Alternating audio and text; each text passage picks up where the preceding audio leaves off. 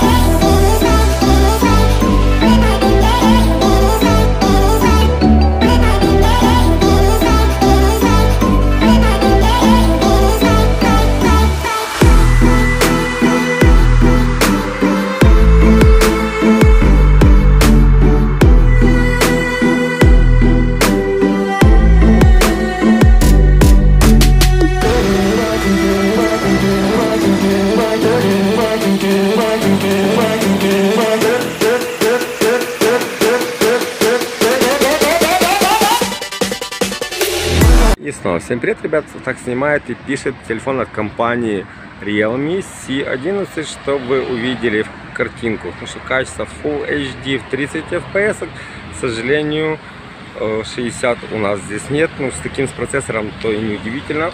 По фокусу, чтобы глянули. Раз, два, есть. Раз, два.